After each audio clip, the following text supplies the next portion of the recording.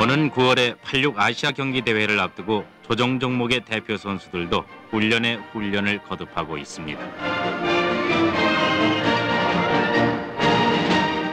조정 경기는 모두 8개의 금메달이 걸려 있는데 우리 대표 선수들은 최소한 1개의 금메달을 목표로 하고 있습니다. 수상 훈련은 특히 팀웍이 중요해서 팀웍 조성에 역점을 두고 훈련을 실시하고 있습니다.